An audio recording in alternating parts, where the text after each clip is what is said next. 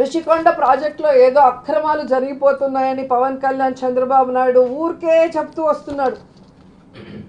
ఒక టూరిజం మంత్రిగా క్లారిటీ ఇవ్వాలి ప్రజలకి అని ఇది పవన్ కళ్యాణ్కి చంద్రబాబు నాయుడు కోసం కాదు నేను మాట్లాడేది.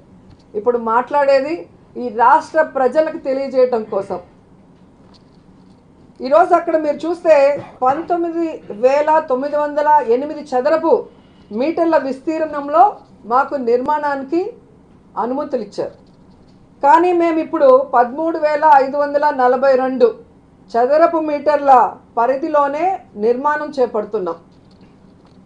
అది కూడా సాక్షాత్తు హైకోర్టు ఏర్పాటు చేసిన జాయింట్ కమిటీ వచ్చి పరిశీలించి పర్యటించి తనిఖీలు చేసి హైకోర్టుకి రిపోర్ట్ కూడా ఇచ్చారు. ఈరోజు ఈ రొష్కొండ రెసార్ట్ ప్రాజెక్ట్కి జీవీఎంసీ నుంచి బిల్డింగ్ ప్లాన్ అనుమతులు తీసుకున్నాం. ఫైర్ సేఫ్టీకి సంబంధించిన అనుమతులు తీసుకున్నాం. అలాగే పొల్యూషన్ బోర్డు నుంచి తీసుకోవాల్సిన అనుమతుల్ని తీసుకున్నాం. అలాగే అక్కడ నూట ముప్పై తొమ్మిది చెట్లని తొలగించడానికి పర్మిషన్ తీసుకున్నాం. ఈ నిర్మాణానికి సంబంధించిన ప్రతి విషయాన్ని కూడా గవర్నమెంట్ అఫిడవిట్ ద్వారా హైకోర్టుకి ఎప్పటికప్పుడు అందజేస్తూనే ఉంది.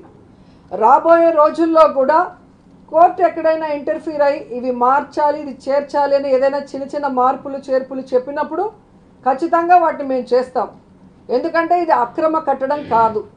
ఇది ప్రభుత్వ కట్టడం. సో ఈ టూరిజం కొత్తగా కడుతున్న ఈ అభివృద్ధి కార్యక్రమాల్లో ఖచ్చితంగా జగన్మోహన్ రెడ్డి గారు హైకోర్టుకి లోబడి దాన్ని పూర్తి చేస్తామని కూడా ఈ సందర్భంగా తెలియజేసుకుంటున్నా. అండ్ ఇంకొకటి మాట్లాడారు. జగన్మోహన్ రెడ్డి గారికి ఎన్ని ఇల్లులు కావాలి? ఎన్ని ఇల్లులు కట్టుకుంటాడు? నువ్వెవడరా? నువ్వెవ్వడివి అని అడుగుతున్నా. ప్రతిపక్ష నాయకులు ప్రజల్లోకి వెళ్ళకూడదా? మీరు సహించలేరా అంటాడు. నువ్వు ప్రతిపక్ష నాయకుడా? నువ్వు చంద్రబాబు నాయుడు పనికి మాలిన పార్టీలుగా ఉన్న అధ్యక్షులు. జగన్మోహన్ రెడ్డి గారు ఒక్కసారి కళ్ళు గట్టిగా తెరిచి చూస్తే ప్రతిపక్ష హోదా చంద్రబాబు నాయుడుకు ఉండదు. అలాంటి పనులు జగన్మోహన్ రెడ్డి గారు చెప్ చేయడు కాబట్టే చంద్రబాబు నాయుడిని మీరు ప్రతిపక్ష నాయకుడు అని ఇంకా పిలుచుకుంటున్నారు. నీకు నువ్వే ఎమ్మెల్యే కాలేదు. నీ పార్టీలో ఒకడు కూడా లేడు. నువ్వేం ప్రతిపక్ష నాయకుడు అని నీకు నువ్వే చెప్పుకుంటున్నావో నాకైతే అర్థం కావట్లేదు. ఈరోజు నువ్వు తెలుసుకోవాల్సింది జగన్మోహన్ రెడ్డి గారు ప్రతిపక్షంలో ఉన్నప్పుడు తన సొంత డబ్బుతో తాడేపల్లిలో ఇల్లు కట్టుకున్నాడు. ఆయన సీఎం అయిన తర్వాత కూడా అదే ఇంట్లో నాలుగేళ్ళుగా ఉన్నాడు. తన సొంత ఇంట్లోనే. అక్కడి నుంచే పరిపాలన కూడా చేస్తున్నాడు.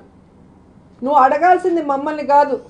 ఆ రోజు చంద్రబాబు నాయుడు కోటేయండి ఆయన ఏదైనా తప్పులు చేస్తే మాట్లాడతాను ప్రశ్నిస్తాను నిలదీస్తానన్నావే?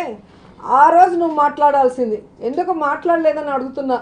ఈరోజు ప్రజలకు తెలియాలి కాబట్టి ఈ విషయాలు చెప్తున్నా. చంద్రబాబు నాయుడు ఏ విధంగా కరకట్ట ఇంట్లో కబ్జా ఇంట్లో ఉన్నాడో మనం అందరం కూడా చూసాం. ఈ రాజధాని ల్యాండ్లో లింగమనేని ప్రాపర్టీలు పోకుండా ఉండటానికి ఈ కరకట్ట హౌస్ని ఏ విధంగా లాక్కున్నాడో లింగంనేని దగ్గర నుంచి అందరికీ తెలుసు. దాని గురించి ఎందుకు పవన్ కళ్యాణ్ మాట్లాడంటే ఆయన ఆఫీసుకి ఆయన ఇంటికి స్థలం ఇచ్చింది కూడా అదే ఓనర్. సో విశ్వాసం.